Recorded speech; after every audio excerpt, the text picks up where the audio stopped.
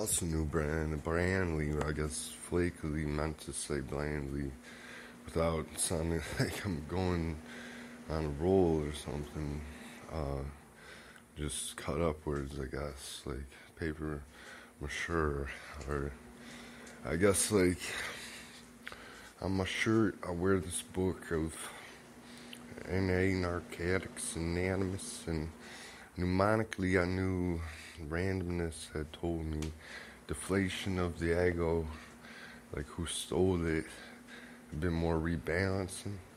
or repalating on some Alaskan ship where I knew the woodsy place would look good in the snow in the winter, but who am I to expect? You can't say a good day is always going to come, or a bad day can turn out to have a little nice sopa or opa like saga like tirama to tsunami. I ah, got it mistably, but probably not a probability